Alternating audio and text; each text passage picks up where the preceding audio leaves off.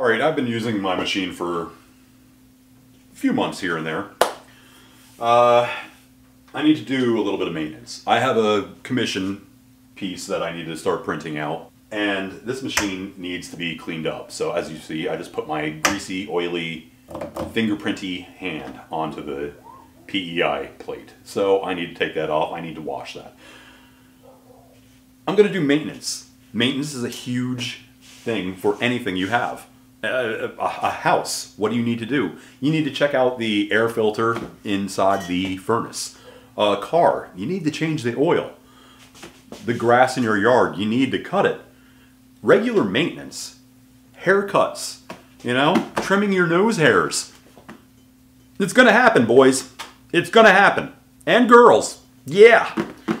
Uh, you need to just keep everything clean and orderly. It's not something to take lightly. Here's some things that you need to look at. First of all, power. Make sure that everything is connected correctly. Your power cord, the power strip or wall outlet that you're using. I'm going to make sure all the, the cord for the uh, display is working, that all the wires and everything else is perfect on the machine. shop vac! You need to keep things clean.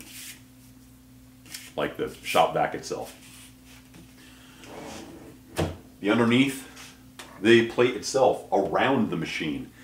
Just clean it off, just dust it off. That's all you need to do.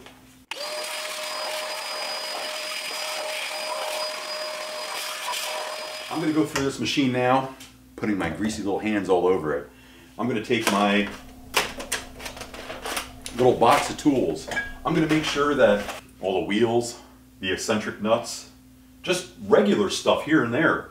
I've already found by using a machine, the vibration is going to loosen up some of these bolts and nuts. So a simple thing to do, just go around and check them. Doing this periodically is going to help you out in the long run.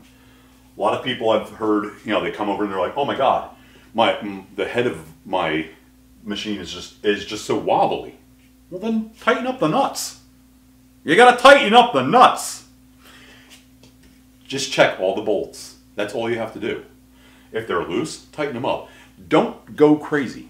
You don't need to give them all the ooga Just give it a little hand crank.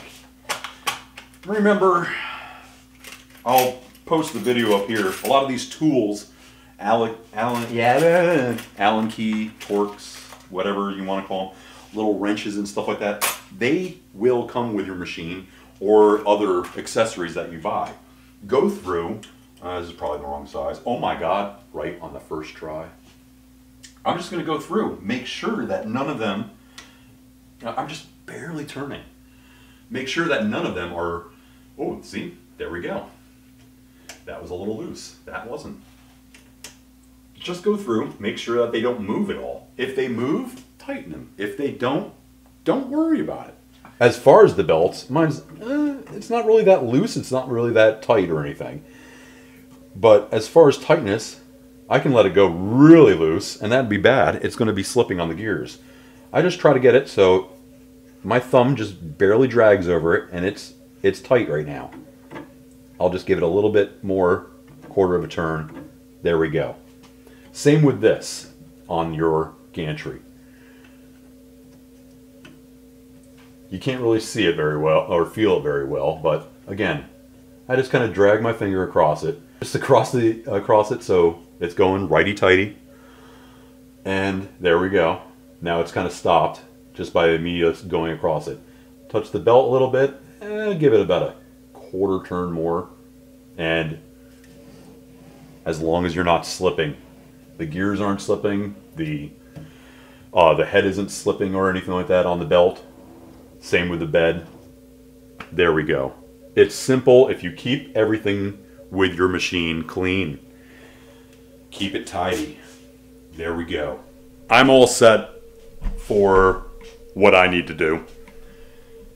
As I said just go through check out all the maintenance on your machine. It's really not that hard. make it make it something that you need to do all the time. Because the more you do maintenance, the longer you can keep a machine. I'm frugal. I'm cheap. I'm on a fixed budget. but I can go out and buy used machines like these two and the Elegoo over here. Thanks for hanging out. Come on back if you like.